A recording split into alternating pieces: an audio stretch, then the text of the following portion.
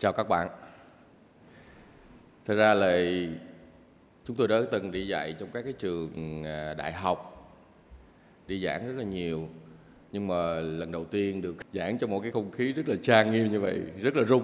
Nhưng mà hôm nay được đến với các bạn là một cái điều rất là vui, rất là hạnh phúc để tôi được ngồi mình chia sẻ với các bạn. Mong là cái buổi chia sẻ ngắn trong tiếng 15 phút các bạn chỉ nghe được một lời thôi. Trong đó các bạn chỉ tâm đắc một lời thôi một ngàn lời, mấy bạn chỉ thích một lời thôi. Mỗi một vị giảng sư hay là một cái giảng viên trong trường đại học cũng vậy, mấy bạn chỉ ngồi nghe một lời thôi. Tôi tôi thích cái cái bài giảng đó được chỉ một lời, là là đủ cho mình. Mỗi một lần như vậy thì mình tích góp một lời đó trong cuộc đời mình, thì mình sẽ làm hướng, gọi là, cái kim chỉ nam cho cuộc sống. Sau này mình có thể trở thành người thành công hay là người thất bại trong cuộc đời mình thì mong rằng là những cái buổi không biết là có đem lại cái cái việc gì lớn cho các bạn không? Nhưng mà mong rằng trong tất cả một tiếng rưỡi đồng hồ chúng tôi chia sẻ, mấy bạn chỉ được một lời một lời nói thôi. Cái nào đó mà mình thích nhất. Rồi, như là các bạn cũng biết rồi, trên thế giới bây giờ là có bao nhiêu người đói khổ, sanh ra đời mấy bạn? Hồi xưa mấy, tôi nghe một cái lần mà giảng dạy á, là khi mà chúng ta mà sanh lên cuộc đời này là một sự khó khăn lắm rồi. Đúng không? Không biết các bạn có nghe được cái đó không? Nghĩa mình là một cái con gì đó mạnh nhất, hùng tráng nhất, thì mình mới thắng cuộc để mình được sanh ra cuộc đời, có nghĩa được thụ thai để sanh ra cuộc đời. Thì các bạn đã sanh ra cuộc đời rồi, mà cuộc đời may mắn nữa là gì tụi các bạn? Mình không bị tật nguyền là một cái điều lớn khủng khiếp. Có nhiều bạn sanh ra là bị tật nguyền. Rồi một cái điều nữa, các bạn không không đầy đủ trí tuệ, không đầy đủ, trong cơ thể mình không đầy đủ sáu căn. Phật giáo gọi là sáu căn. Rồi một cái điều nữa mấy bạn sanh ra làm một con con người không nói là đẹp nhưng mà cũng dễ nhìn. Là cái may mắn nữa. Còn cái may mắn lớn nữa là không có nghèo đến nỗi mà phải lam lũ làm việc vất vả không được đi học hành gì hết. Rồi một cái lớn lao hơn nữa là các vị được gặp Phật pháp. Ngày xưa nhỏ tôi ở chùa tôi nghe quý thầy giảng á, là làm người đã khó rồi mà lập gặp Phật pháp còn khó hơn nhiều có nghĩa là giống như là một con rùa một ngàn năm mới mới nổi lên mặt biển một lần. Mà nổi lên mặt biển á, mà làm sao để gặp được có một cái một cái miếng ván mà trong miếng ván nó có một cái lỗ rất là nhỏ vừa cái đầu con rùa. Thì làm sao mà nổi ngay cái miếng ván đó nó trên mặt biển? Thì Đức Phật dạy thí dụ là con người mà gặp Phật pháp cũng giống như vậy. Thì các bạn bây giờ mấy bạn là cái người hồi nãy giờ mấy bạn được may mắn làm người đầy đủ các căn rồi các bạn được uh, ăn học được gia đình cũng không đến nỗi phải không có điều kiện cho các bạn đi ăn học. Có nhiều bạn là muốn đến trường nghe một lần người khác giảng dạy cũng không được. Còn một cái may mắn nữa là các bạn được làm gì? Được nghe Phật pháp. Được đến đây có có thể là lâu lâu một lần một tuần một tháng hay là hai ba tháng như đây có khóa tu mùa hè gì đó mà các bạn được đến đây các bạn ngồi các bạn nghe là một điều cực kỳ may mắn cho cuộc đời mình biết đâu là nhờ những cái giáo huấn của các sư, của các thầy, rồi của những người như chúng tôi đến đây để mà chia sẻ với các bạn, sẽ là một cái hành trang nhỏ trong cuộc đời các bạn, sẽ thay đổi, sẽ là một bước ngoặt thay đổi cuộc đời các bạn. Cho nên là trong cái khi mà mình các bạn được may mắn, được may mắn làm người, được may mắn gặp Phật pháp, thì các bạn ngồi đây, các bạn trong một ngày, các bạn cố gắng nghe, dù chỉ là như nãy thầy nói mong được một lần, một cái, một câu thôi một câu có giá trị để đem vào cuộc đời mình. Thì trong buổi giảng hôm nay thầy thầy mong rằng các bạn chắc có thể có nhiều bạn thì thích hợp có nhiều bạn không thích hợp trong một buổi giảng nhưng mà chỉ cần một chút xíu ngồi lắng nghe biết đâu là sẽ đem lại một cái, cái, cái một sự may mắn lớn trong cuộc đời của mình. Vì một lời nói đó thay đổi một đời của mình. Thì ờ, vào đề bài thì thầy muốn là giới thiệu cho các bạn về bữa nay là thầy được muốn ngồi ở đây một cái mà đề tài mà thầy hay đường đi giảng ở trong các trường đại học hay là cho mấy bạn của giới trẻ ở các tổ chức là một cái đề tài gọi là đề tài 5S. Có các bạn nào có từng nghe chưa các bạn? Ai nghe rồi? Cái tên 5S. Ồ, được một vài đứa. Ồ, Ồ, cũng khá bạn, khá được nhiều bạn nghe. Nếu mà các bạn có nghe rồi thì bây giờ nghe lại. Nghe lại hoặc là các bạn chỉ nghe sơ ở có cái tên đó thôi. Nó đem lại lợi ích gì cho mình? 5S là cái gì? Đầu tiên là 5S là cái gì? Và nó đem lại cái gì cho chúng ta? Và chúng ta thực hiện nó như thế nào? Như các bạn biết, ở đây các bạn ai cũng biết Nhật Bản đúng không? Nhưng bạn biết gì nhiều về Nhật Bản không?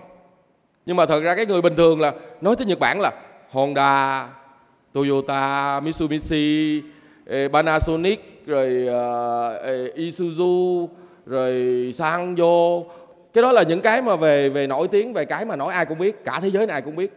Còn một cái nữa, cái đó là cái nổi thôi tụi con. Còn một cái lớn nhất hơn của Nhật Bản đó là gì?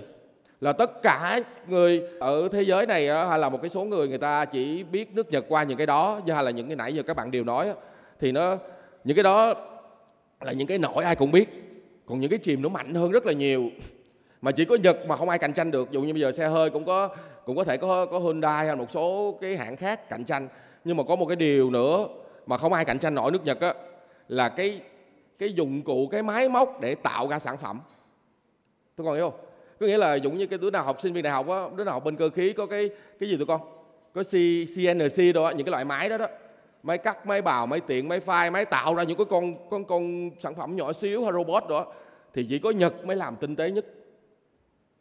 Nghĩa là tạo ra những con ốc những con vít những cái cái cái cái cái, cái gọi là cái phụ kiện để mà làm ra sản phẩm á, thì cái đó mới là cái lớn nhất của Nhật. Thì tụi con biết như nãy như, nãy như cô bé kia nói là cái gì tụi con? Nước Nhật là cái đất nước mà nằm trên gọi là trên một cái hòn đảo. Thằng ngày xưa nó là gọi là một cái đất nước không có liên quan về tới những cái nước khác. Nó nằm biệt lập ở ngoài cái hòn đảo như vậy. Rồi như sau này tụi con biết rồi á, là chiến tranh chiến xảy ra chống tranh thế giới, nước Nhật sẽ đã đi, gọi là, hồi xưa mình gọi là phát xít Nhật đó, đi đánh chiếm khắp các nơi rồi sau khi mà thua chiến thua chiến thì nước Nhật đánh sao tụi con. Đã phải vừa trong mất mát trong chiến tranh, không phải đi đánh người ta là lấy lại được cái gì mà bỏ rất là nhiều tiền của đi đi đánh. Khi đánh giặc xong thì bị cái gì tụi con? Bị hòa hai quả bom nguyên tử. Khi hai quả bom nguyên tử xong rồi bị gì nữa tụi con? Phải đứa nào thua thì phải làm gì? Đánh giặc đứa nào thua bị gì? Bồi thường chiến tranh nữa tôi còn thấy kinh khủng không? Mà đâu phải bồi thường chiến tranh cho một nước hai nước hay là một cái mà đòi thường chiến tranh cho tất cả thế giới. Giống như Việt Nam mình đó là dụ như bệnh viện chợ rẫy đâu này kia đúng rồi thật thật ra là người nói là người uh, người Nhật gọi là giúp đỡ viện trợ nhưng mà thật ra đó là một cái hình thức bồi thường chiến tranh. Thì cũng thấy một cái đất nước nhỏ bé như vậy mà phải bồi thường chiến tranh phải bị nghèo đói bị môn nguyên tử. Nhưng mà trong vòng từ 1945 cho tới 1960 có 15 năm thôi mà một cái đất nước từ nghèo, đói, lạc, gọi là không còn gì, trở thành đại cường quốc kinh tế, một trong những nước giàu có về kinh tế.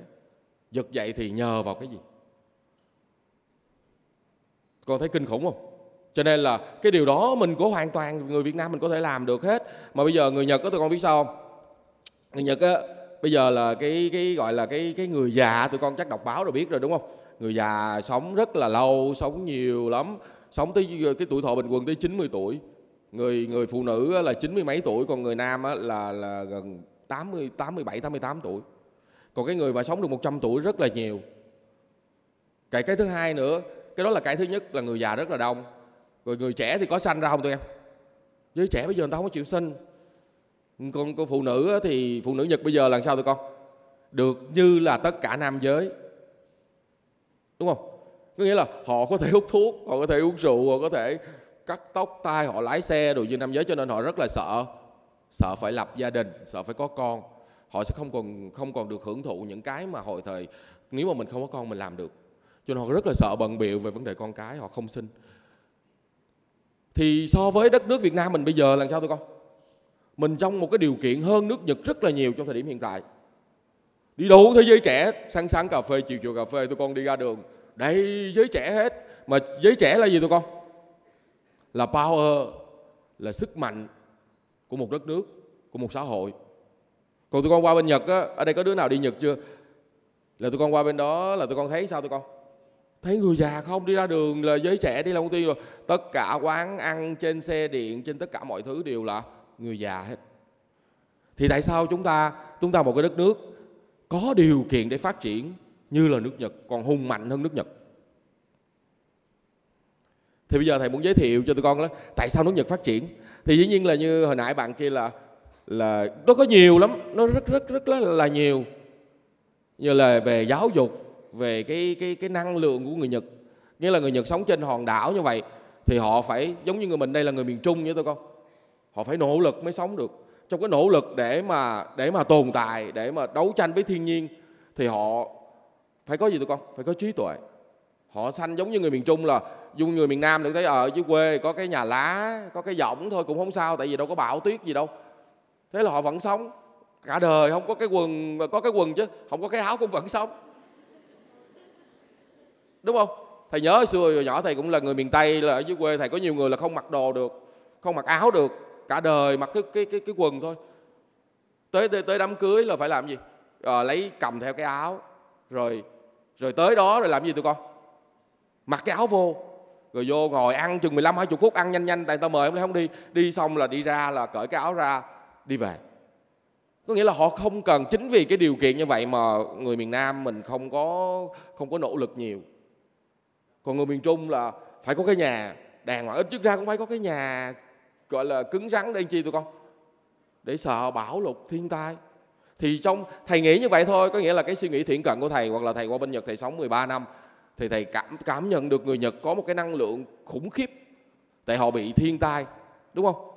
Họ rất là nhiều ở trên thế giới này, người Nhật bị cái gì tụi con? Sóng thần, rồi gì nữa? Động đất, rồi gì nữa tụi con? Núi lửa, lục lội, bão, và hàng nhiều nhiều nhiều cái thứ khác nữa. Nhưng mà người Nhật vẫn đứng vững. Thấy ghê không? Tụi con vừa rồi, tụi con có cách đây hồi lúc thầy mới qua Nhật là 1995 là đầu tiên thầy bước chân đến Nhật. Là một thời gian sau, trong một vài tháng sau thì đó là cái trận động đất khủng khiếp là ở Kobe là tan quang hết tất cả những cái cái cái xây dựng lớn như là cầu, đồ đồ là cả thành phố. Nó trở thành đóng đóng sắt vụn. Nó bờ vỡ vụn hết cả thành phố. Như vậy mà trong vòng 10 năm sau, thật ra nếu mà một cái đất nước bình thường á tụi con có 10 năm sau thì con chưa chắc đem hết mấy cái đó đi được nữa, chứ đừng có nói mà con xây dựng lại. 10 năm sau, cái cô bê đó trở thành thành phố đẹp nhất, tân thời nhất ở Nhật ở Nhật. Tụi con thấy kinh hoàng không? Thì tại sao người Nhật có một năng lượng như vậy? Như nãy thầy nói rồi, trong cái khó hai tiếng người Việt mình đây là gì? Trong trong cái khó có cái khôn, đúng không?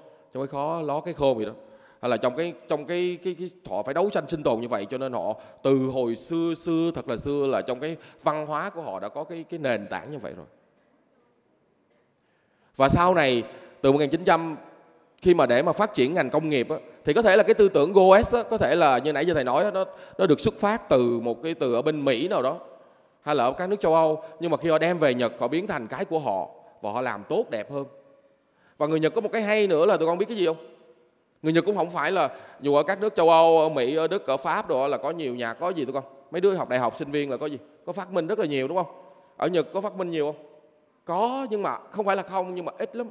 Mà người Nhật làm gì tụi con copy. Một, trên thế giới này có hai cái đất nước mà copy thầy nghĩ là giỏi nhất. Một là Trung Quốc, hai là Nhật. Nhưng mà người Nhật copy về làm gì? Làm cho nó đẹp hơn, cho nó tốt hơn, bán cao hơn dùi xe hơi đủ nó đem về, nó cải thiện, nó làm làm đẹp hơn, bền hơn, tốt hơn, có giá trị hơn, bán giá cao hơn.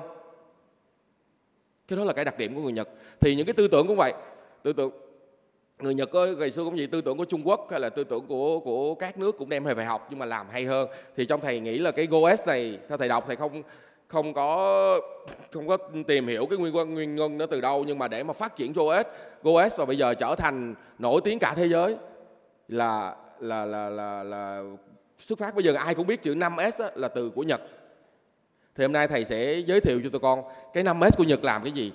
Chỉ như nãy thầy nói là người Nhật giáo dục nè rồi ờ, như nãy điều kiện thiên nhiên rồi uh, nhiều thứ khác. Nhưng một cái lớn nhất mà để cho người Nhật phát triển á, là như bản này thôi. Bản thầy nói, một trong những cái mà để cho người Nhật phát triển là gì em kỷ luật, tính kỷ luật rất là cao. Thì 5S thì cũng gọi là một trong những gọi là tính kỷ luật của người Nhật. Người ta tổ chức rất là nghiêm ngặt cái chuyện này. Thì giờ thầy sẽ giải thích tập trung vào 5S 5S là gì em năm, số năm của mình là năm, đúng không? Chữ S. Thì 5S đó là là năm cái từ cái từ đầu của người Nhật. Rồi người ta phiên âm thành cái chữ chữ tiếng Nhật gọi là chữ Romaji của mình bây giờ là mình gọi là Romaji thì mình gọi là tử alphabeto. Người Nhật nó viết chữ chữ của Nhật tối nào đi học tiếng Nhật thì biết là nó giống như chữ Hán vậy đó. Nhưng mà nó viết ra ra, ra năm chữ alphabeto. Thứ nhất là C C to ở seri seri là đầu chữ có chữ sờ ở phía trước đâu. Seri rồi C đứa nào biết? C tôn là cũng là tiếng Nhật luôn. Rồi C C sồ là có chữ S hết rồi. Rồi tới C Seketsu rồi mới tới cuối cùng là Shitsuke thì tất cả những cái từ đó là đều, được người dùng đầu tiên là chữ S. Người ta dùng cái đó người ta phiên bản gọi là người ta gọi cho nó dễ nhớ dễ hiểu là dùng 5S mà tiếng tiếng Nhật nó gọi là GoS GoS không? Tiếng tiếng tiếng Việt Nam mình lại là 5S rồi Việt Nam mình là dịch mà nó hơi nó gần gần thôi chứ cứ đúng chưa đúng thêm ví dụ sàng lọc rồi uh, uh, sạch sẽ sẵn sàng gì đó thì cái đó là tiếng Việt Nam mình, nhưng mà thật ra là nó ờ, dịch, cái cái cái nghĩa thì nó gần gần giống, nhưng mà nó không có chính xác lắm. Nhưng mà tiếng Nhật là GoS thì để dùng từ GoS thì GoS là cái gì? Thầy sẽ giới thiệu tụi con là GoS là cái gì và đem lại cái gì cho đời sống hay là cho cái nền công nghiệp phát triển hay cho chính bản thân của tụi con. Thật ra GoS đầu tiên là để làm gì? Để sản xuất, để trong trong môi trường sản xuất của người Nhật. Nhờ cái đó mà cải thiện, gọi là cái gì? Cái cái cái chất lượng sản phẩm rồi làm tốt hơn tăng nhiều sản phẩm hơn sản phẩm tốt hơn là làm có hiệu quả hơn trở thành một cái thương hiệu. Không phải là thương hiệu mà trở thành quốc hiệu của Nhật. Tụi con tụi con có có nghe cái từ ví dụ như tụi con à, cái con tụi con xài đồ là của hãng này hãng kia nhưng mà xài đồ của Nhật tụi con nghe cái từ gì? Japan made in Japan thôi là tụi con thích không? Mà thật ra ở bên Nhật của tụi con là nhiều lắm. Từ uh, dụ như nó dụ như Sony đi có Sony hạng 1, hạng 2, hạng 3, hạng 4, hạng 5 rồi có những cái hãng khác cũng hạng 1, hạng 3, hạng 5 gì đó. Nhưng mà người ta tạo nên một cái gọi là cái gì tụi con cái quốc hiệu luôn. Mình làm được chuyện đó. Không có nghĩa là tụi con bây giờ chỉ cần đồ của nhật thôi đúng không? Cái điện thoại này của nhật nè cái máy này của nhật nè cái sen này của nhật nè cái clip này của nhật nè cái cái máy này cái đầu máy này của nhật cái gì mà của nhật là tụi con cảm thấy an tâm để xài thì nó không phải là một thương hiệu hay là một nhân hiệu của một người hay là thương hiệu của một công ty mà nó trở thành gì tụi con? Quốc hiệu luôn.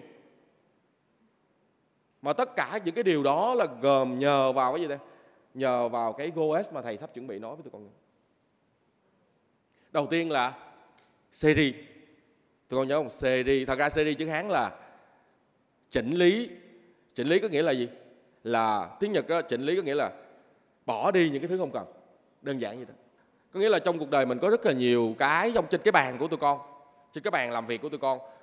Ở trong công ty của tụi con thì là là có rất là nhiều ví dụ như nguyên một cái công ty lớn như vậy thì những cái mà người ta làm rồi người ta tiếc người ta không bỏ đi hay là những cái thứ mà à, bữa để một tuần nữa xài một tháng nữa xài một năm xài bỏ đi sẽ sẽ tốn tiền người ta để lại rất là nhiều ròm rạc cho công ty. Thì đầu tiên là họ bỏ đi những cái mà không cần.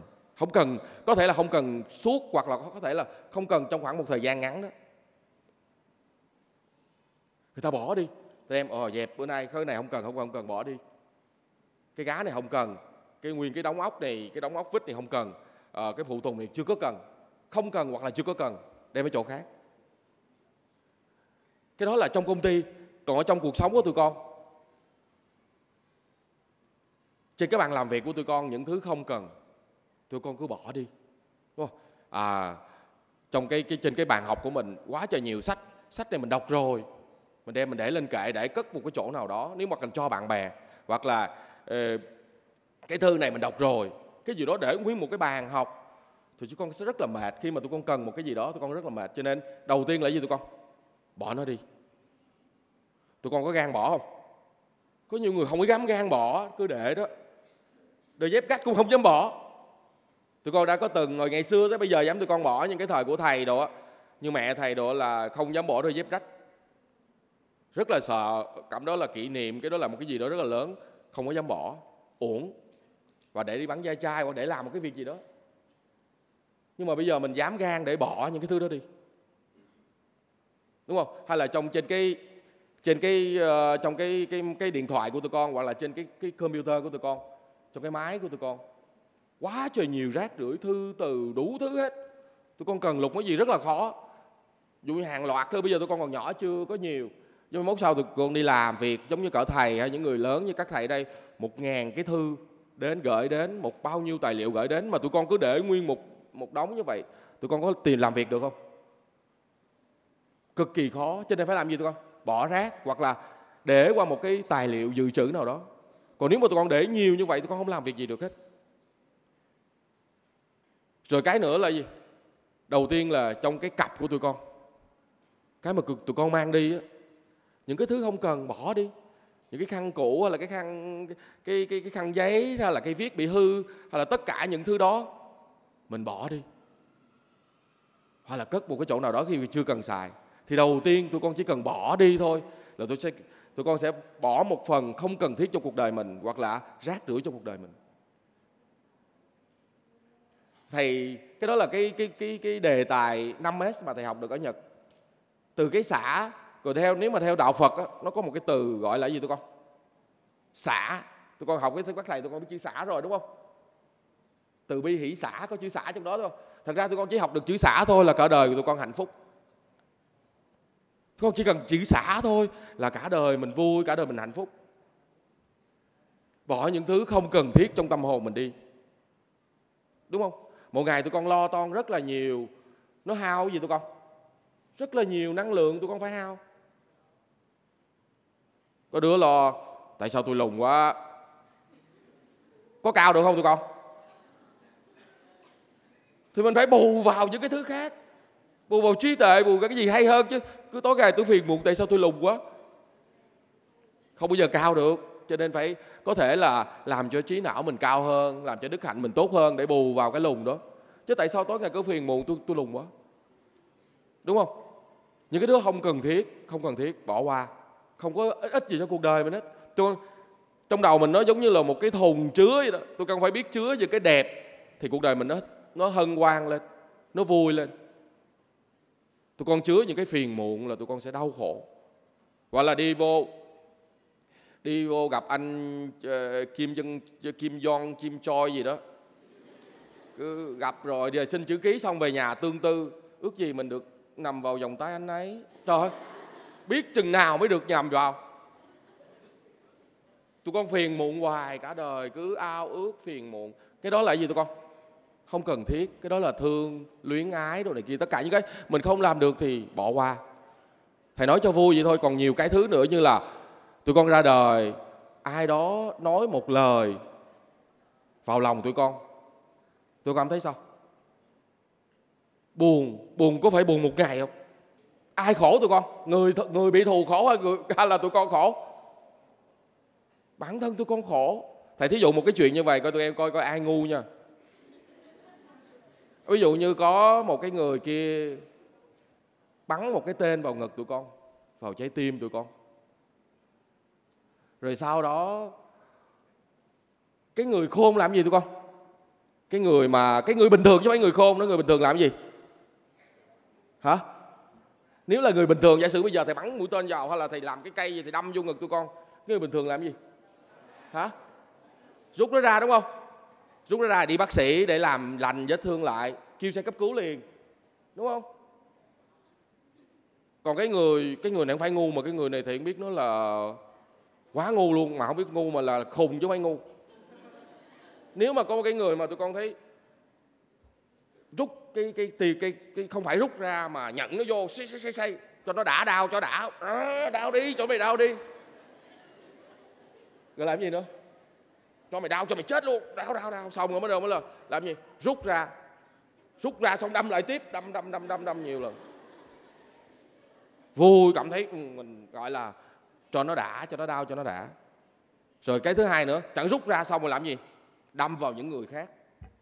Đâm mày cả gia đình bạn bè gặp ngày mai vô gặp nhỏ bạn là lấy cái cung đâm bắt nhỏ kia đau. À, tao cũng đau giống mày.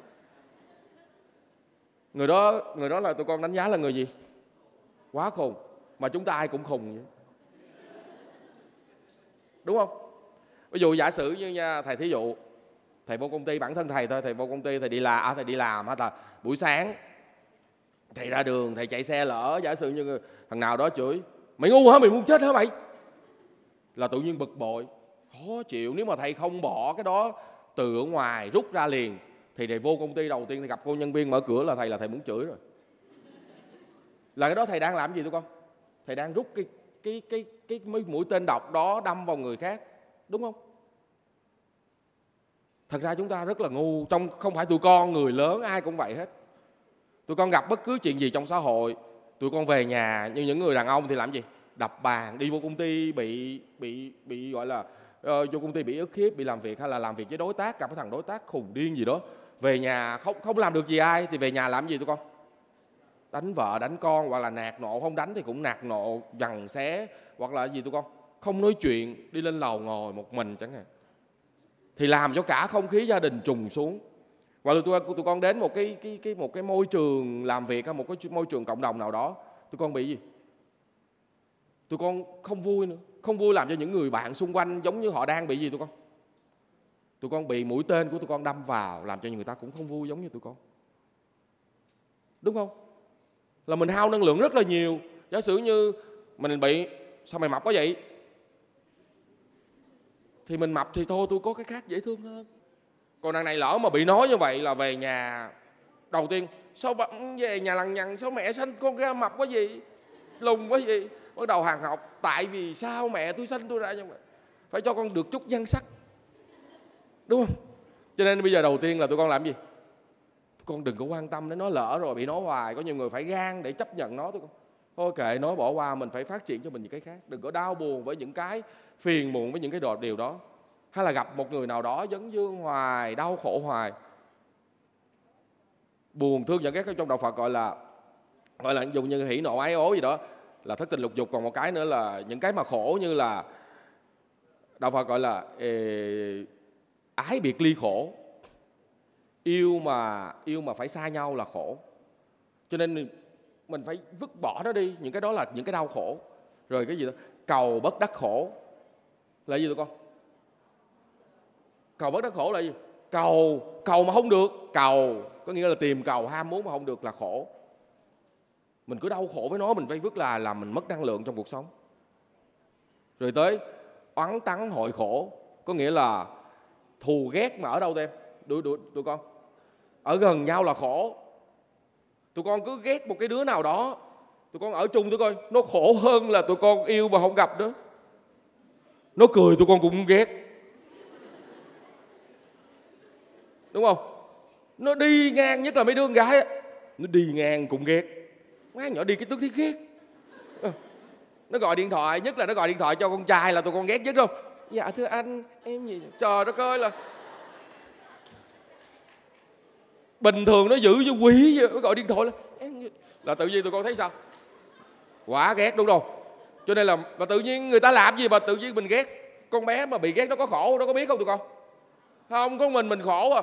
Mình bực bội mình tức tối mình đau lòng nó chưa kể là vì cái đó mà nó hơn mình chút xíu mình cũng khổ nữa.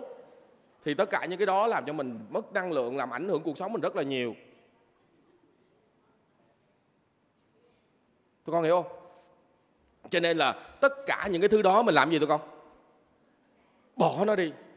Thầy con, tụi con hồi xưa thầy học phật thầy học rất là nhiều. Thầy cũng học phật giống như mấy thầy của tụi con ở đây bây giờ vậy đó. Học từ nhỏ tới lớn ở chùa. Nhưng mà sau này thầy rút lại có những cái điều giống như chỉ cần xả được là tụi con hạnh phúc rồi nhưng mà rất là khó chứ không phải làm được liền đâu nha tụi con. Cái đó là bản chất.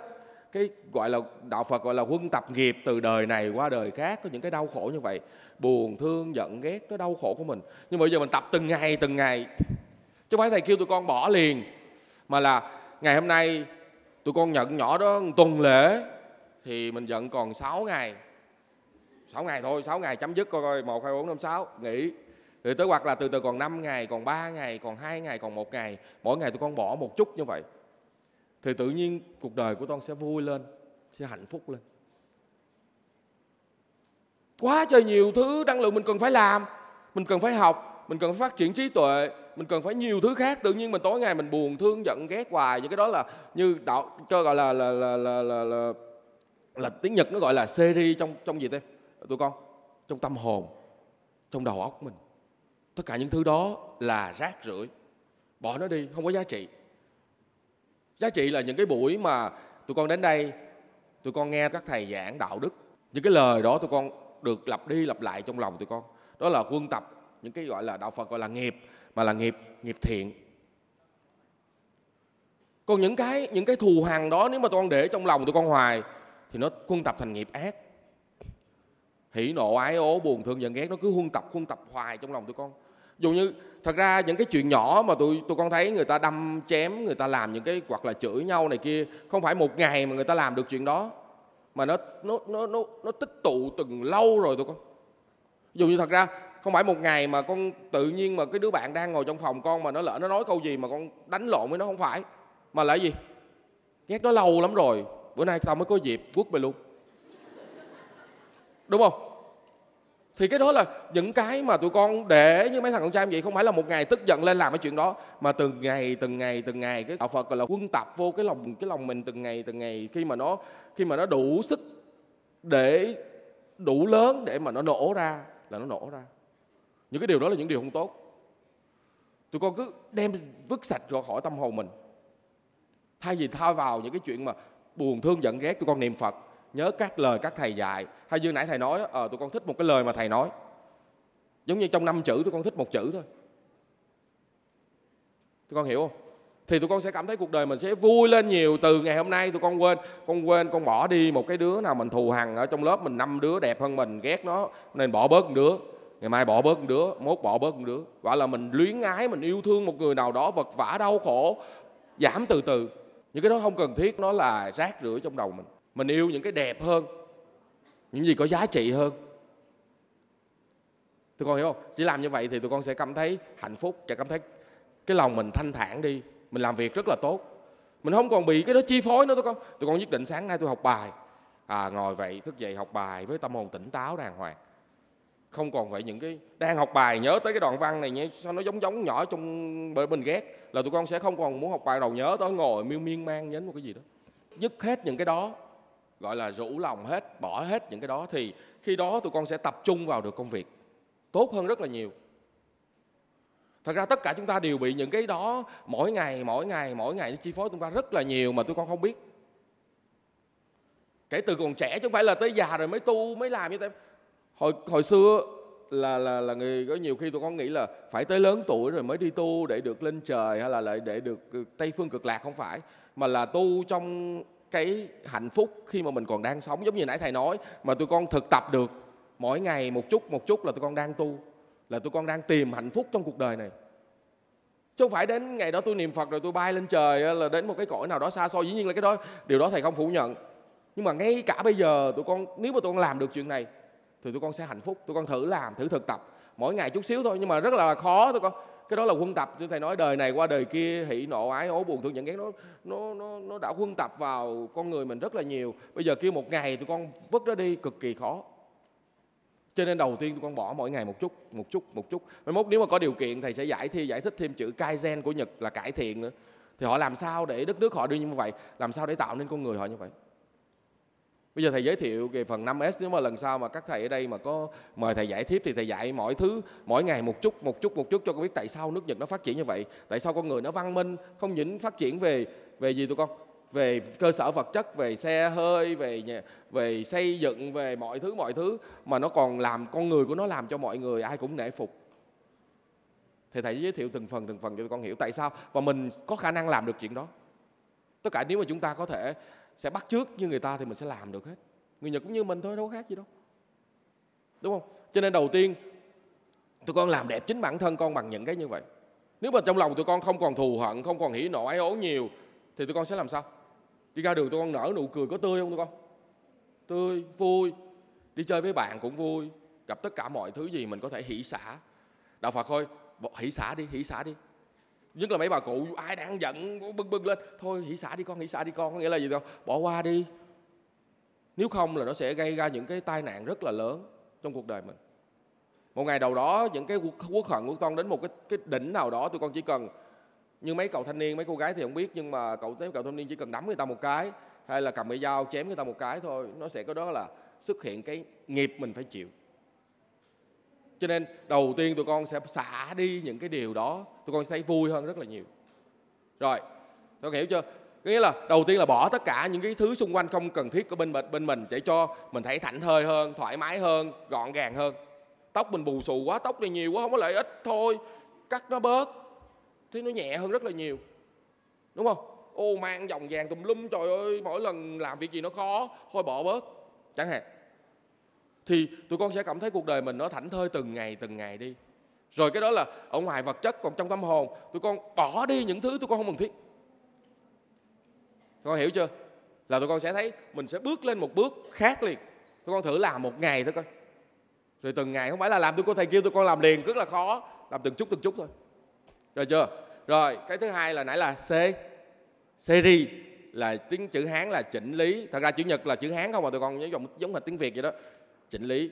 Chữ thứ hai là xê tôn xê tôn mà trong trong cái ờ, người ta đọc tiếng ờ, tiếng nhật mà không hiểu, người ta đọc xê son, xê xê tôn xê tôn rồi là xê tôn xê tôn là chỉnh đốn.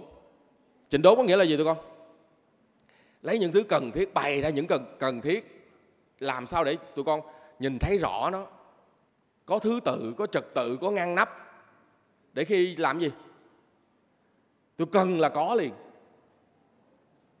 có người ta sở dĩ mà tụi con thầy thí dụ nha, ở trong nhà tụi con muốn lao cái bàn mà người ta không chuẩn bị trước trong trong gia đình thôi, cái nồi lao bây giờ tụi con phải đi, trước khi lao cái bàn tụi con phải đi giặt cái nồi lao xong đi kiếm cái nồi lao gì, thấy cái nồi lao để dưới để dưới, rớt dưới đất. Trên cái nồi lao có bãi cước mèo. Tụi con còn muốn lau bàn đâu. Thật ra lau bàn rất là dễ nhưng mà để chuẩn bị cái cái vẽ lau bàn làm cho tụi con cảm thấy không muốn lau bàn nữa. Dơ quá. Phải đi phải đi chuẩn bị cái đồ lau bàn. Thầy thấy thì tôi, thầy nói thì tôi con cười, nhưng mà thật ra chúng ta đập cái đó rất là nhiều. Bữa nay nghe thầy nói về goes. Muốn đi về kiếm cuốn sách nhật nào đó tìm goes. Nhìn lên kệ sách. Trời ơi, bụi bặm. Không biết nó nằm ở đâu. Tôi con còn muốn tìm nó nữa không? Bỏ ý định liền. Đúng không? Dù là đơn giản trong xã hội thôi, trong đi tới đâu đó, này muốn lên chùa Hoàng Pháp, nghe giảng đâu thôi mà đường trước nhà sình không, đi ra đường xe dơ bẩn quá. Là là tụi con sao tụi con? Bỏ ý định đó. Thật ra con người ta lười lắm tụi con. Làm ngay cái vô mục đích chính thì rất là dễ làm. Ví dụ như bây giờ dù thầy nấu ăn tất cả mọi thứ đều chuẩn bị hết. Rau, củ, chén, gọi là nước tương, nước mắm đều chuẩn bị xong hết rồi. Mình đến mình nấu rất là dễ và rất là hiệu quả. Còn khi đó, tụi con muốn nấu ăn mà tụi con phải làm gì? Trời đất ơi, kiếm cái dao mà cái dao đang bị dơ. Bước xuống ồ thấy cái dao đang bị dơ. Thấy cái thớt cái thớt móc không? Thấy bữa nay bữa nay ờ, chủ nhật thứ bảy ở nhà muốn làm gì cho chồng con ăn? Hay là muốn làm một ngày muốn có hiếu ngày lễ của mẹ, muốn làm gì đó để cho mẹ mình ăn? Bước xuống nhà bếp thôi đi lên nghỉ, thôi bỏ ý định. Tụi con công nhận điều đó. Không tụi con đã từng trong đời tụi con có rất là nhiều lần như vậy, đúng không? Còn khi mà tụi con thấy mọi thứ đều gọn gàng, sạch sẽ hết, đã chuẩn bị sẵn, chỉ cần ra tay là có thể làm được, thì tụi con có thích làm không? Cực kỳ thích làm. Ví dụ như, có nhiều khi không thích cũng muốn làm nữa. Ở dưới miền tây có cái câu gọi là gì tụi con? Muốn ăn muốn ăn, muốn đến ăn cơm nhà người ta. Muốn thấy, muốn đâu xong rồi nói? Ồ có trái ớt ngon quá cho chén coi. Đúng không? Nhìn hồi xưa là bây giờ là người ta giàu ta không có đó còn cái thời của thầy á, là cái người ta đói ít cũng không có cơm ăn dụ đến nhà người ta muốn ăn cơm biết làm gì?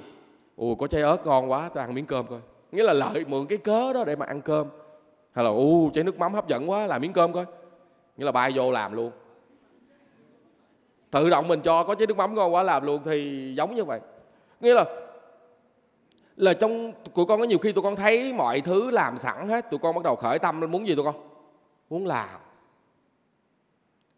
Tụi con không muốn đọc sách nhưng mà về nhà thấy kệ sách đồ chữ nghĩa đầy để xung quanh mình rất là gọn gàng tại tụi con muốn mở sách ra đọc. À, có cái gì đó ồ mở sách ra đọc chắc thích lắm. Tụi con muốn đánh đôi giày đúng không? Tụi con muốn đánh đôi giày ờ, trên trên cái bà trên cái chỗ để giày nào có mấy cái gì có, có cái cái đồ đánh giày đồ tất cả mọi thứ đều chỉ cần vớ tay là có thể làm được. Thì tụi con sẽ làm. Còn từ đầu mà tụi con thấy bây giờ muốn đánh đôi giày phải chạy đi chợ mua đôi cái cái, cái đồ cái cái cái gì cái hộp xi. Rồi kêu bằng bằng cái cái cái cái bằng gọi là cái bằng chạy để đánh thì tụi con không có làm được cái chuyện đó. Mà không phải tụi con không mà ai cũng không làm hết. Cho nên trong cuộc đời mình phải xê tôn nó lại cái đó là trong công ty thôi. Trong công ty là tụi con thấy, tại vì tụi con không, ít sau này tụi con để, dùng cái này để đem vào công ty, sau này tụi con, chắc chắn tụi con sẽ trong đây một ngàn đứa, thì chắc chắn sẽ có một trăm đứa gì đó sẽ làm một ông giám đốc. Con ông sẽ làm rất là lớn, con ông sẽ làm nhỏ, nhưng mà chắc chắn sẽ có rất là nhiều làm những cái chuyện lớn. Nếu mà không làm được chuyện lớn thì tụi con ít chức ra cũng làm gì đâu, tổ chức trong gia đình mình, làm chủ gia đình, nhất là mấy cô gái. Thì tất cả mọi thứ tụi con chuẩn bị đâu ra đó hết trong gia đình. Tôi con sẽ cảm thấy là hạnh phúc hơn rất là nhiều. Nhất là mấy cậu con trai như là con gái đi. Sau này một cái kỹ thuật sống nhỏ xíu trong gia đình thôi. Mấy cậu con trai đi làm cực khổ ngoài đường về, chẳng hạn. Bước vô nhà mà nhà tụi con loạn lên hết. Giày dép, chỗ này một đôi, chỗ kia một đôi, dơ bẩn rồi muốn uống nước thì phải kiếm cái ly. Nó dơ quá trời. Chú ly kiếm kiếm, không biết kiếm cái ly nào sạch để mà muốn uống một miếng nước thì gia đình có lục sục không tụi con? Là người đàn ông họ sẽ quạo lên liền. Họ sẽ dùng một cái lời nào đó. Thật ra từ trong gia đình mà nó những cái nhỏ nhỏ nhỏ như vậy nó thành nó bị rạn nứt lúc nào không hay. Bước vô nhà muốn kiếm một cái ly uống nước không có. Thường khi là à, người đàn ông đi về có thể là đi nhậu hay là gì đó. Nhưng mà cái tâm lý thôi bước vô nhà có một cái ly nước à, trong trong muốn mở tủ lạnh ra là có cái ly nước mát để uống liền. Ờ, người ta sẽ cảm thấy vui liền hạ quả. Bao nhiêu bực bội như nãy thì nó ra ngoài công ty bực bội gì về thấy vợ thấy con là thấy điềm tĩnh trở lại. Ờ thấy về nhà thấy không khí gia đình rất là vui. Còn khi mà đi ra ngoài xã hội rồi đã như nãy thầy nói bực bội như vậy rồi bước về nhà như là một bãi rác thì tụi con tưởng tượng đi nó khủng khiếp lắm. Là cái cái đó là cái ngồi nổ trong gia đình ngày này qua ngày kia phụ nữ cũng vậy. Như tụi con đi đâu về đi làm việc gì đó về trong nhà mà người còn người người chồng mình cứ mở giày ra là quăng đôi vớ một chỗ đôi giày một chỗ. Mình tối ngày mình cứ phải đi nhặt đôi đôi đôi giới rất là thơm của ổng hoài. Khó chịu không? Đúng không? Mình đàn ông mình cũng phải vậy. Nghĩa là à, mang giới xong đem đi đến à, để đôi giày phải để đây đôi giới phải để vô cái cái cái sọt để cho vợ mình dễ đi giặt chẳng cái đó là phụ với vợ rồi không không làm phụ việc nhà, nhưng mà ít chính gia cũng làm gì tụi con? Mình tự quản lý bản thân mình. Tụi con, nhất là mấy cậu thanh niên là lười. Mình không phụ với mẹ mình được cái gì thì mình mình tự phụ cho mình mình tự làm tốt cho mình. Như tụi con đem về, tụi con mở, tụi con làm cái việc gì đó xong rồi ngủ sáng thức dậy chứ cũng xếp cái mền để đó, để lên. Hay là cái bàn chải đánh răng xong rồi tụi con phải để về chỗ của nó. Thì tự nhiên tụi con sẽ ở trong một không gian lúc nào cũng sạch sẽ, có nhiều nhiều khi nhà mình không có giàu, nhưng mà là sạch tụi con hiểu không? Giống như là ông bà mình nói gì tụi con? Nhà sạch thì mát bát sạch thì ngon. Đúng không? Thì tôi tụi con phải ở một trong ngôi trường như vậy tự mình tạo nên một ngôi trường sống tốt đẹp. Tôi gọi là C C tôn làm hết người Nhật đó tụi con là trong công ty của họ sẽ có gì? Có đường đi có đường đi thẳng à, cái cái đường này là dành cho xe cái đường này dành cho cho người đi bộ cái đường này dành cho cái người cái cái cái xe kéo. Đường này cái cái này để dành chở hàng. Thì như vậy đâu ra đó như vậy thì vận hành một công ty lớn rất là dễ rất là hiệu quả. Hay là trong cái bàn làm việc của mình à, cần cái gì đó là có liền à, ờ, cần cái viết có cái viết ở đây ghi ghi cần cái miếng giấy ví dụ như là một ông giám đốc lớn ồ có ai gọi điện thoại đến chết rồi đi kiếm cái viết ở đâu để mà ghi lại một cái gì cái lời thoại là một cái lời thoại mà họ nhắn lại. Tôi không tìm không ra. Tôi con bực bội như nãy thầy nói, muốn nấu, muốn món ăn ngon, tự nhiên đi vô đây, đang đang đang làm đang làm. Xong rồi cái chai nước tương nó mất tiêu rồi. Cái cái miếng bột ngọt đâu mất rồi. Thì tụi con sẽ không làm ngon mà khi ngay lúc đó tụi con đã bị cái gì tụi con? Bực bội. Mà khi tụi con bị bực bội, bị sân hận, tụi con còn làm việc tốt đâu. Không. Cho nên tại sao người ta, khi mà tụi con chuẩn bị sẵn hết tất cả mọi thứ đó, thì tụi con sẽ làm việc rất là tốt. Tâm, cái cái cái cái lòng mình nó rất là dễ làm và làm việc rất hiệu quả chính vì vậy mà người người Nhật á, họ làm tất cả công ty họ đều áp dụng cái này hết. Thì công việc của họ rất là tốt người ta làm việc rất là thoải mái. Công việc của ai người đó đấy làm đồ của ai người đó đấy làm. Tôi con biết như là ở bên Nhật á, là mỗi buổi khi mà tụi con vào công ty á, là sớm hơn 10 phút quy định. Để tụi con coi coi trên bàn cái chỗ làm việc của tụi con đầy đủ chưa? Cái máy của tụi con có dầu có nhớt chưa? Cái những cái dụng cụ ốc vít bồ lon con tán tất cả mọi cái dụng cụ để làm việc có đủ chưa? Có để ngăn nắp hay chưa? Rồi sau khi làm việc xong, trước khi mà bấm chuông dụ 5 giờ bấm chuông, thì tụi con phải ở lại công ty 5 phút 3 phút, nếu mà không ai tăng ca là con là người cuối cùng, con phải ở lại đó để làm gì? Để dọn dẹp cái chỗ mình cho nó sạch. Rồi làm gì nữa tụi con? Phải chuẩn bị cho ngày mai. Nghĩa là họ phải vô dầu cho cái máy đó. Rồi tất cả những cái thứ giống như bữa nay là cái gì đó thiếu thiếu, cho ngày bữa nay tan thiếu, để chuẩn bị cho ngày mai tụi con chuẩn bị sẵn hết để tất cả những thứ đó trên cái chỗ làm việc của mình. Ngày mai vô kiểm tra lại một lần và bắt đầu khi mà chuông reo là vận hành cho tụi con. Vận hành liền. Chứ không có đợi chuông reo dùng nguyên một cái like như vậy mà chuông reo bắt đầu làm việc, bị một cái khâu nào đó bị dừng lại, thì cả dây chuyền bị dừng lại, có nhiều khi cả công ty bị dừng lại. Cho nên là trong cuộc sống của mình, trong công ty, trong tổ chức gì cũng vậy, có nhiều khi thiếu một cây viết thôi nó sẽ ảnh hưởng lớn đến cuộc đời của mình khi đi đâu đó cần ghi một cái gì đó tôi không quên cái viết. Mặc dù cái đó là viết một cái, cái bây giờ thì có thể là có điện thoại nó thâu vô luôn. Còn ngày xưa ví dụ như viết một cái cái cái cái cái, cái số điện thoại của ai đó hay là viết một cái lời nhắn của ai đó hay là viết một cái tên của ai đó mà tụi con chỉ không cần cái viết tưởng để cho cho não mình nhớ nhưng mà vô tình vô tình một tiếng đồng hồ hai tiếng đồng hồ sau nó lại quên đi nếu mà nhân vật đó là một nhân vật quan trọng hay số điện thoại là một số điện thoại quan trọng là trong cuộc đời mình lại mất đi một cơ hội chẳng hạn. Cho nên trong cuộc đời mình là c c ton. C ton là chỉnh gọi là làm gì tụi con sắp xếp đâu đó ngăn nắp gọn gàng để khi nào cần là làm liền. Rồi cái tiếp, tiếp tục là gì tụi con? C c sổ. C sổ là thật ra nó là gì tụi con? Dọn dẹp quét dọn thôi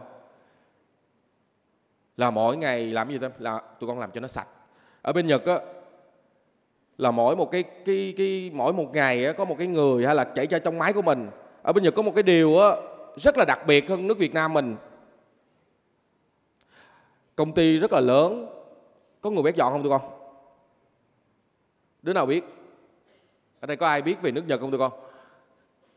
Cái đặc trưng của người nhật á nước nhật á là nguyên một công ty khổng lồ luôn không có người lao công. Tại người nhật người ta còn không đủ người làm nữa, hay đâu mà có người lao công, có người bảo vệ như nước mình. Đúng không? Như ở mình là có bao nhiêu người bảo vệ tụi con? Cái đó là là gì tụi con? Thừa sức lao động, bỏ uổng, tự chi ngồi gì. Mà không có thì không được, ăn trộm nhiều quá. Rồi tự nhiên phải có người lao công trong công ty. Nhưng không có. Rồi, ở ngoài đường có người lao công không tụi con? Có người mà gọi là người phu quét đường không? Không có luôn chỉ có người đi lọn rác thôi. Đó là điểm đặc biệt của người nhật. Ai sẽ dọn cái điều đó tụi con? Ai sẽ làm? Chính bản thân mỗi người chúng ta phải làm. Thì tụi con thấy hơi lạ đúng không?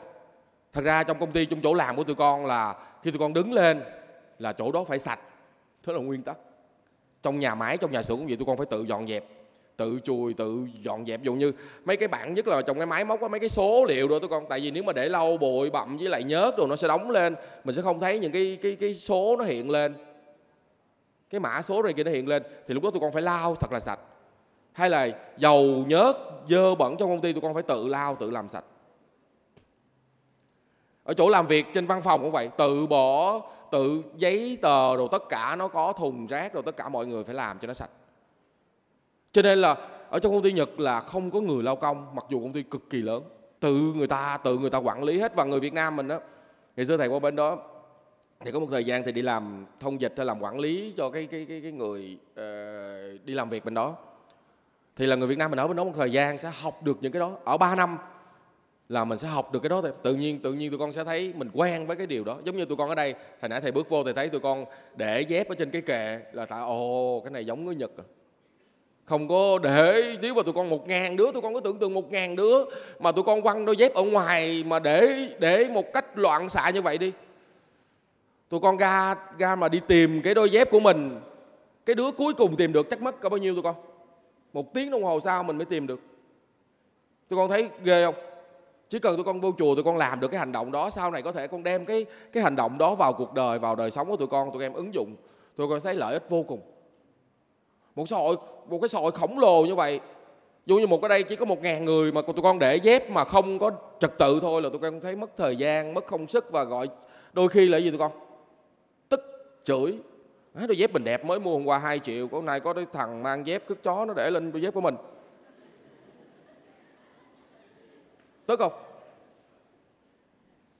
Tụi con cảm thấy cái đó cái điều đó là điều khủng khiếp luôn nhưng mà người nhật người ta làm được cái chuyện là tất cả mọi người đều vệ sinh cho bản thân họ, đều làm đẹp, không phải là làm đẹp cho bản thân không, cái khung quanh của họ và làm đẹp cho những môi trường xung quanh, gọi là xê sổ dọn dẹp rất là sạch. Và tôi con thấy một cái điều vừa rồi có đứa nào có đá banh? Ở đây mấy thằng trai chắc thường coi đá banh thì đó, đá ở đâu? Ở bên, ở Brazil phải không tụi con? Đá ở một cái nước nào đó mà khi đó khi mà đội tuyển Nhật đá đá xong rồi người Nhật đi ủng hộ rất là đông như một cái điều làm cho cả thế giới phải ngưỡng mộ phải cúi đầu ngưỡng mộ và và và, và để phục là cái gì tụi con? Khi họ đứng lên khi mà đội đội đội của Nhật họ có thua đi nữa họ có quốc không? Không vui. Vỗ tay kể cả những người người Nhật có một cái hay là tuyển thủ của họ có thua đi nữa họ vẫn là gì tụi con? Họ vẫn vỗ tay. Anh đã làm hết sức mình rồi mà tại vì cái đội kia nó mạnh quá chứ không có chửi. Có nhiều người đất nước mà đã không được thua là về nó bắn chết luôn cái đó là nguy hiểm. Cái đó là cái mà người Nhật được cả thế giới vỗ tay. Có nghĩa là cái người cái người này họ đâu có muốn thua tụi con. Người Nhật là tinh thần võ sĩ đạo mạnh lắm, họ không có để cho người ta mua độ đá banh rồi đâu. Ít chứ không phải là không tôi em. Tinh thần của họ rất là cao, cho nên họ không vì tiền để làm cái chuyện đó. Cho nên họ đã làm hết sức rồi, nhưng mà đội bạn mạnh quá. Đâu phải mình thắng được. Lần sau lần sau hy vọng các em lần sau cố gắng lên để cho không ờ, mất cái, gọi là không phản lại cái lòng kỳ vọng của cả đất nước cái đó là cái thứ nhất. Cái thứ hai mà cả thế giới nghiêng mình kính phục đó là gì tụi con? Là khi họ đứng lên họ coi nguyên một cái, một cái hội trường một cái một cái trên mà gọi là cái khán đài rất là lớn như vậy. Họ đứng lên còn miếng rác không tụi con? Không. Sạch hết luôn. Có nghĩa là trong tất cả các khán đài khác là nó trở thành nguyên một bãi rác. Trong khi khán đài của người nhật là không còn một miếng rác nhỏ. Là cái đó làm sao họ làm được tụi con? Bây giờ dù trước khi đi dù như tụi con bây giờ trước khi đi là cái người lãnh cái người gọi là cái người mà mà gọi là hướng dẫn viên du lịch hay ai đó hướng dẫn là à, tụi con phải lượm rác à tụi con làm được liền không? Không. Tại vì tụi con chưa có thói quen đó. Tụi con cảm thấy gọi lụm cái rác lên cực kỳ khó. Nhưng mà người nhật là từ hồi bé luôn. Họ đi học ở bên bệnh nhật đó thầy lâu lâu thầy nhìn mới lúc đầu thầy đi thầy thấy mấy người nhật này ác quá. Mấy đứa nít nhỏ xíu à nó nhỏ xíu à. Mà lâu lâu chừng chủ nhật thứ bảy gì đó là mỗi thằng cầm cái bao. Cầm cái bao nhỏ nè. Mấy đứa gái luôn. Cầm cái bao nhỏ, cầm cái kẹp. Đi làm gì tụi con? Đi lượm rác xung quanh cái sân trường của nó. Rồi những cái chỗ hàng xóm những mấy cái cống rảnh rồi nó lụm, nó bỏ vô. Mà bây giờ là người ta nói là giờ giúp cái nước Nhật hồi cái thời của thầy đi qua bên bên đó là là là nó đã nó đã không còn ý thức, nó đã thấp hơn người xưa rất là nhiều rồi. Mà mình thấy mình còn phải nể phục có nhiều khi trời lạnh thì là lạnh luôn tụi con. Cái chân của nó là đỏ lên luôn. Cái chân nó ở nhật nó lạnh thì lạnh nhưng mà con con con gái hay con trai vậy gì mấy đứa nhất là mấy thằng con trai là nó làm gì tụi con nó mặc cái cái cái cái, cái quần rất là ngắn. Rồi con gái cũng vậy mặc cái váy đi học lạnh ngắt như vậy mà đi ra ngoài để lụm rác bình thường. Thì nó hình thành cái ý thức từ hồi lúc còn bé chứ không phải là tới lúc lớn như tụi con rồi bắt tụi con làm không phải tụi con. Cho nên bây giờ cũng vậy như tụi con muốn tu tu từ bây giờ luyện tập từ bây giờ chứ không phải tới già tới già chỉ làm cho mình vui thôi chứ nó đã trở thành một cái quân tập rồi rất là khó. Tụi con bây giờ tụi con gặp từ cái từ bây giờ. Thì tụi con thấy người nhật á họ bước lên khỏi cái cái cái cái cái, cái khán đài họ đi về là tất cả đi cái cái chỗ mà họ ngồi không còn gì hết. Tất cả mọi người xung quanh không phải là một người đi lụm hết cho mọi người mà là gì tụi con? Tự bản thân họ họ đi họ dùng họ đi người nhật nhất là phụ nữ còn đi là có một cái rác cái bịch rác để theo chẳng hạn à, ờ, tất cả mọi thứ bỏ vô bỏ vô rồi chút. Mỗi người ngoài cái hành lý riêng của mình còn thêm một cái gì nữa con? Một cái bịch rác đem về. Cũng có thể là theo một số người nghiên cứu thì ở bên Nhật thì thấy là tại vì nước Nhật nhỏ quá nhỏ lắm nhỏ xíu luôn. Cái diện tích nó lớn hơn diện tích của mình. Nhưng mà tới gần 80% là núi với biển rồi cho nên là cái diện tích để sử dụng được, nó nó giống như là những cái diện tích mà ở đất liền hay là cái, nó là chỉ là những cái thung lũng nhỏ nhỏ nhỏ như vậy thôi. Cho nên cái diện tích sử dụng của nó chắc không bằng một phân nửa của mình đâu. Cho nên nếu mà nói về diện tích của Nhật có thầy thầy cho là nhỏ hơn mình rất là nhiều. Nhỏ hơn, nó không bằng một phần hai hoặc không một phần ba của đất nước Việt Nam. Nó nhỏ đến như vậy mà người ta rất là đông, thì nếu không làm như vậy thì sẽ không sống được cho nên từ ngày này qua ngày kia người Nhật người ta dạy là phải vệ sinh phải làm tốt như vậy. Tụi con thấy đi vô tụi, tụi con có bao giờ coi, coi cái cảnh ờ, người Nhật có gọi là cái hoa nổi tiếng là hoa gì tụi con? Anh đào là hoa sakura Nhật nó gọi là sakura sakura. Thì cái hoa anh đào á mỗi lần người ta coi cái tảng hoa nó đẹp lắm tụi con đẹp lớn đẹp đẹp ghê lắm. Cho mình nhiều cây mai cây này của mình nó nhỏ nhỏ còn cây hoa anh đào nó giống giống như cây cổ thụ á những cái cây mà lớn năm bảy chục năm nó như cây cổ thụ vậy đó. Thì người ta mới làm gì tụi con? Người ta ngồi với cái cái tảng hoa đó, người ta chảy chảy bạc ở dưới đó. Rồi sao tụi con? Người ta ngồi, người ta uống rượu, có nhiều khi hai ba ngày luôn, nhất là những người lớn. Uống rượu, xem hoa hoa anh đào rơi lã tả. Tụi em coi ở Việt Nam mình hay có mấy trong tiệm cải lương đồ ngày xưa hay lâu lâu tụi con nghe sakura sakura đó. Rất là nổi tiếng, cái hoa đó là nổi tiếng nhất thế giới.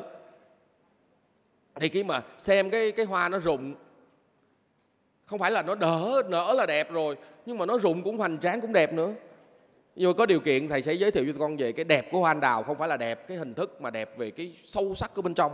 Nó là đẹp cái đẹp của tâm của tinh thần của người nhật. Thì người ta rất là thích coi hoa đó và người tập trung rất là nhiều. Mà mỗi lần người ta coi như vậy người ta lâu lắm chứ không phải như mình là đi ngang qua nhìn Ồ, hoa này đẹp quá thơm quá hửi một cái. Nhiều khi thấy đẹp đẹp ngắt bỏ túi dục đi chút coi coi đem qua. Không phải mà là người ta ngồi, người ta chiêm ngưỡng với tảng hoa anh đào. Chứ không phải là mình nói đi xem hoa anh đào là là nhìn không phải thôi con, mà ngồi ở dưới đó luôn. Người ta chơi đó cả đêm. Nhưng mà khi mà hoa anh đào nó hết cái mùa đó rồi, nếu mà ở một đất nước khác, mình không dám nói Việt Nam.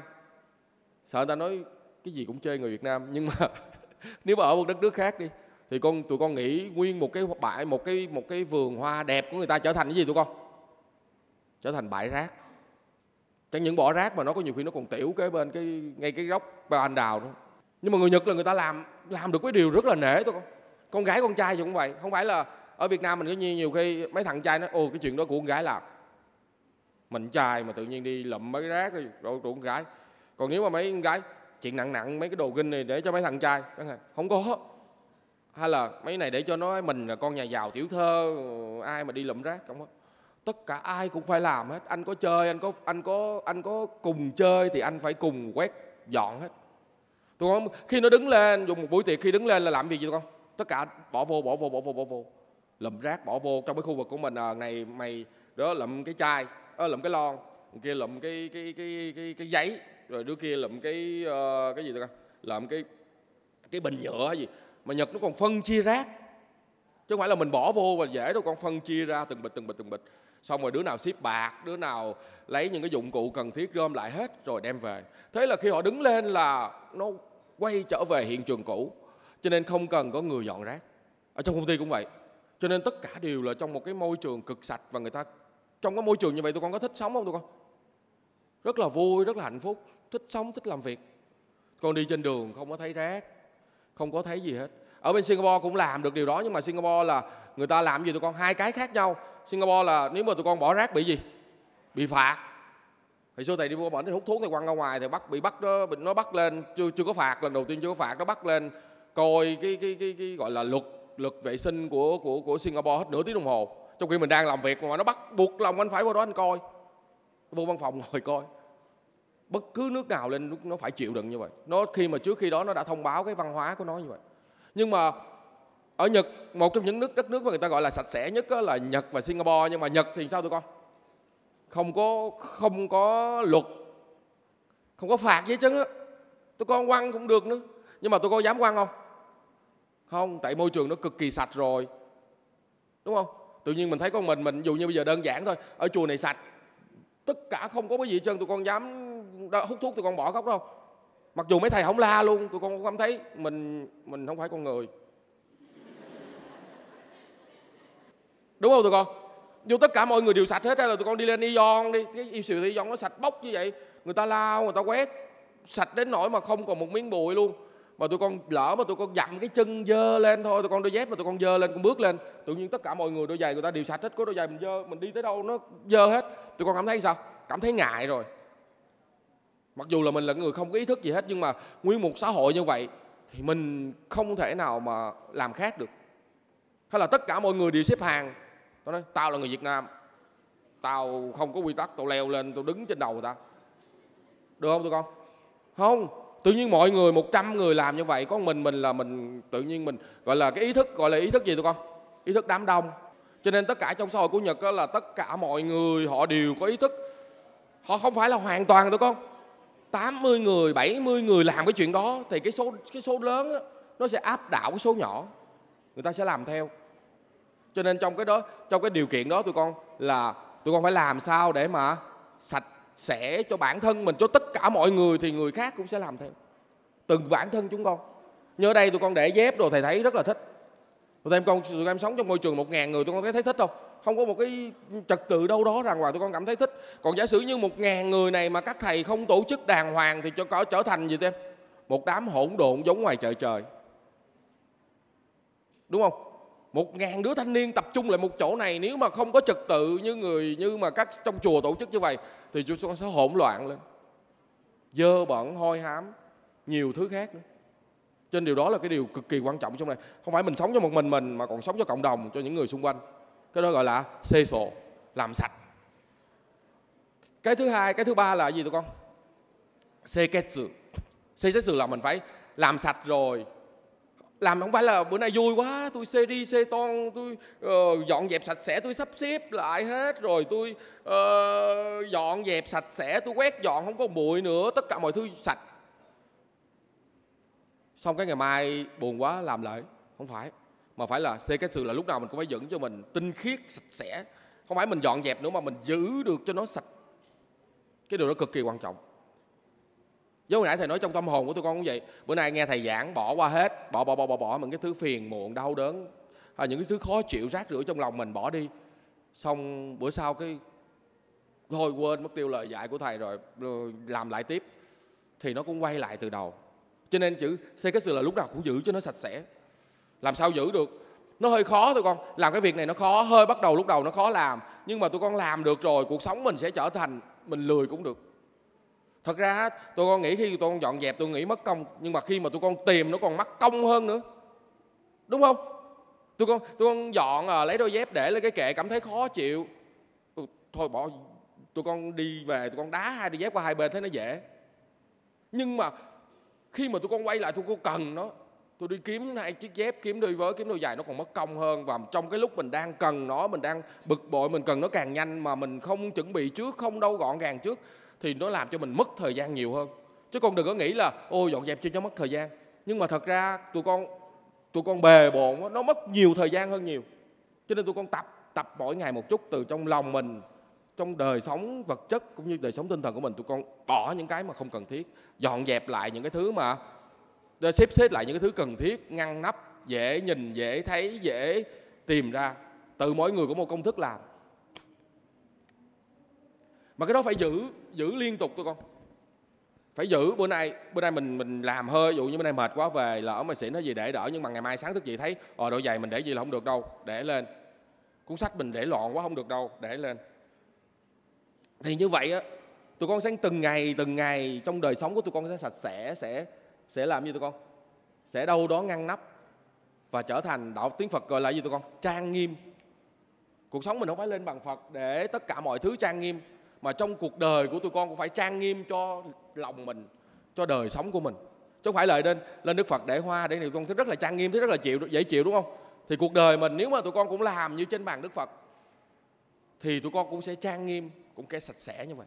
Và tụi con giữ được cái đó gọi là seketsu giữ sạch lòng mình chỉ sạch cuộc đời chỉ sạch cái những cái xung quanh mình. Và làm ảnh hưởng đến những người xung quanh mình nữa dù tớ, bản thân tụi con sạch sẽ thì những người bạn mình có ồn nó nó sạch lắm mình cũng phải giữ theo nó chẳng hạn. Nếu mà sau này tụi con làm giám đốc làm mấy ông gì lớn mà tụi con là người cực kỳ sạch cực kỳ ngăn nắp thì những người nhân viên của tụi con cũng sẽ tụi con không cần dạy. Người ta cũng sẽ làm theo. Sức ảnh hưởng của tụi con rất là lớn. Tụi con là một người cha trong gia đình là người mẹ trong gia đình. Tụi con sống như vậy thì sức ảnh hưởng lan tỏa rất là lớn. Còn một chữ cuối cùng là shitsuke. Shitsuke tiếng nhật hơi đọc chữ khó chữ là người mà chưa có đi học là đọc không có được. Shitsuke có nghĩa là là làm gì tôi? Thật ra nghĩa đó, một số người dịch tiếng việt nó khác, nhưng mà tiếng nhật đó là giáo dục, huấn luyện, tự rèn luyện mình. Tự nhắc nhở mình trong công ty đó là cái người cái người lớn phải dạy cho người nhỏ. Cái người thầy, dù thầy là giám đốc thì thầy dạy cho người cấp dưới, rồi người cấp dưới dạy cho người cấp dưới nữa. Dạy cứ từ ở trên, dạy xuống, huấn luyện suốt luôn. Chứ không phải là bữa nay vui đem lên dạy một lần. Ở nhật nó có còn một cái gì nữa tôi con gọi là, người nhật nó, mỗi buổi sáng nó làm gì tụi con? Làm chô rê tiếng nhật gọi là chô rê nghĩa là chào chào nhau cũng như là nếu không có việc gì lên chào tiếng nhật ôi ohayou rồi yoroshiku nên aisimasu chẳng hạn chẳng nói câu hai câu rồi gì đó rồi xong vậy có nghĩa rồi nếu mà có việc gì á thì từ ở dưới sẽ ở trên sẽ nói xuống là vừa rồi khách hàng à, phàn nàn cái gì cái gì đó hay là vừa rồi ở cái khâu A nó có một cái vấn đề gì đó xảy ra. Chứ không phải đợi tới lúc mà nó nó tan quan hết rồi mới báo cho tụi con. Không phải là cái việc nó hư rồi mới báo lên cấp trên mà là từ cái việc nó sắp xảy ra là báo. Và là bên A nó xảy ra rồi thì phải lên để báo, bên B đừng có xảy ra nữa. Tôi con hiểu không? Thì người Nhật nó tổ chức được cái điều đó, nó rất là hay, chứ không phải đợi tới nó hư rồi, nó đã vỡ rồi mới bắt đầu sửa, không phải.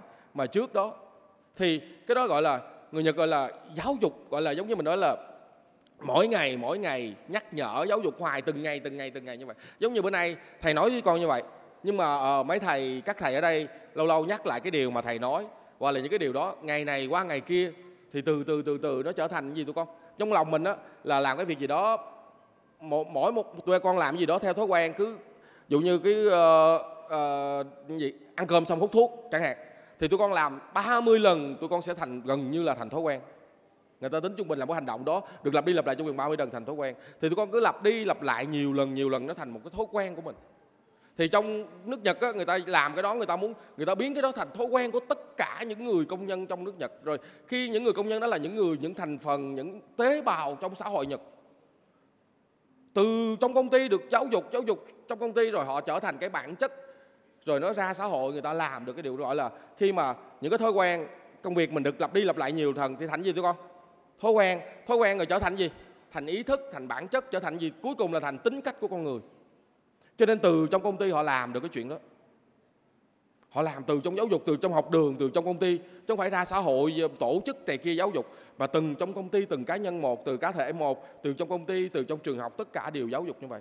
Họ giáo dục từng ngày từng ngày để mà thực hành được cái hành động này. Cho nên là trong đời sống thầy nghĩ là tụi con còn trẻ không phải như này thầy thầy, thầy lặp lại từ đầu. Là tụi con còn trẻ không phải để tới tới lớn, tới mai mốt tôi làm giám đốc và tôi thực hiện. Không có, tụi con làm được không thì nếu mà tụi con làm tới giám đốc tụi con thực hiện đâu. Tụi con chỉ nói cái miệng thôi. Thật ra nó trở thành thói quen rồi. Bây giờ tụi con khẩu thả, tụi con tụi con sống nó bề bộ quen rồi. Lớn lên làm được nhưng mà rất là mất thời gian, rất là khó làm. Còn bây giờ từng ngày từng ngày tụi con làm một chút. Tụi con trở thành một cái người gọi là gì tụi con? Như nãy thầy nói á. Nếu mà có có đức mà không tài là gì của tụi con? Làm việc gì cũng khó đúng không? Tụi con có học không? Có đức không tài làm việc gì cũng khó. Có tài mà không đức là người người ta nói là người vô dụng chứ thật ra nó hơn vô dụng rất là nhiều mà là người phá hoại khủng khiếp. Cái người mà có tài mà không có đức ấy, tụi con tại vì người ta có tài người ta suy nghĩ ra những cái phá hoại lớn hơn người dốt nhiều. Đúng không? Người dốt giỏi lắm là đi đập cái nhà hay là phá gì chút xíu thôi. Còn người người mà mà mà, mà có tài người ta có rất là tài năng nhưng mà họ không nghĩ cho lợi ích của nhân quần xã hội thì họ sẽ làm những cái chuyện xấu lớn lắm. Còn còn một cái nữa không có tài không có đức luôn. Làm gì? Là cái người mà trở thành gánh nặng của xã hội. Cho nên bản thân tụi con cũng vậy mình mình làm sao vừa có tài dĩ nhiên là tập cái tài xong rồi còn phải tập thêm cái đức. Tụi con được vô chùa ngồi nghe các thầy giảng, các người nói mỗi ngày một chút. Giống như nãy giờ tụi con nghe nghe chỉ thầy cái mong tụi con nhớ một lời trong trong một bài giảng cả ngàn lời đó. Là thầy đã vui rồi, thì mỗi một vị thầy cho tụi con một lời thôi. Cho nên thầy mong rằng là tụi con là những cái người gọi là sau này, chắc trong đây là nghe nói là thầy được biết là tụi con là những sinh viên, ít nhất ra cũng là những cái người đang đi học trên học đường hay là đã tốt nghiệp rồi hay là những người có giá trị về trí thức trí thức trong xã hội. Trong rồi thầy nói là tài không thì phải còn có gì nữa tụi con? Còn phải có đức đức độ, phải biết yêu thương. Mấy cái đó thì để các thầy dạy. Nhưng mà cái này là tụi con làm tạo mình trở thành một cái người có ích cho xã hội, hữu dụng cho xã hội, giống như tụi con tự huấn luyện mình thành một cái người có tài, lãnh đạo chẳng hạn. Như là ở đây tụi con, nếu mà tụi con chỉ làm được cái việc này thôi, sau này tụi con trở thành một cái người có tài lãnh đạo chẳng hạn.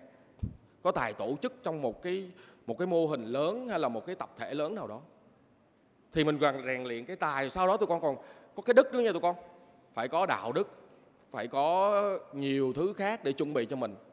Thì thầy mong rằng cái buổi giảng ngày hôm nay, thầy chỉ mong rằng tụi con trong một cái giai đoạn ngắn trong, ở trong chùa một tiếng mấy đồng hồ, thầy được chia sẻ như vậy. Thì một tiếng đồng hồ thầy nỗ lực nói rất là nhiều. Nhưng mà tụi con không biết để lại trong lòng tụi con cái gì không, nhưng mà mong rằng chỉ một từ thôi một câu thôi cũng được. Mỗi đứa một câu trong lòng mình là thầy vui rồi. Cảm ơn tụi con đã lắng nghe.